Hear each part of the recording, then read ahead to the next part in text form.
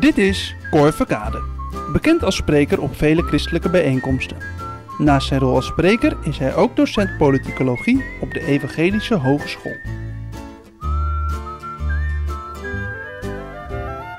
Stelling: het tekort op de begroting mag in 2013 niet meer dan 3% zijn.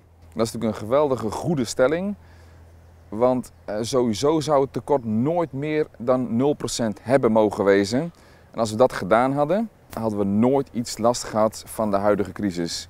Je kunt nou eenmaal niet meer uitgeven dan je binnenkrijgt. Dus we moeten zo snel mogelijk naar 0%. Dus 3% is wel het eh, minimum. Dus ik ben hier zeer mee eens. Hoezeer ik me realiseer dat het ook heel zwaar wordt voor de Nederlandse bevolking.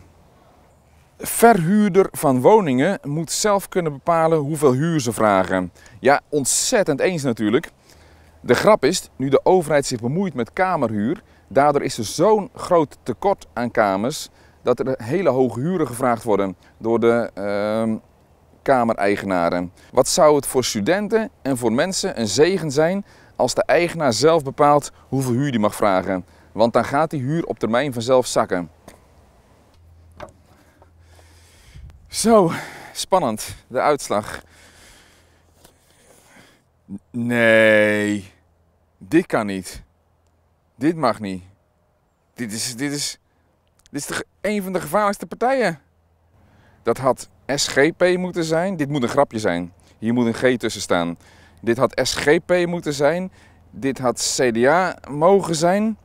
Het had een vleugje VVD mogen zijn. Met een klein tikkeltje GroenLinks.